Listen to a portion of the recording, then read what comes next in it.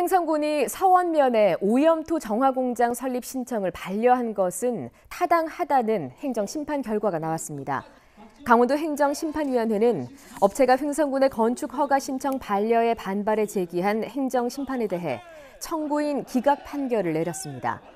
횡성군은 지난 1월 해당 업체가 소규모 환경 영향평가 보완 사항을 이행하지 않은 채 영향평가가 필요 없는 9천여 제곱미터로 사업 부지를 축소한 것은 규제를 회피할 의도로 판단해 허가를 반려했습니다.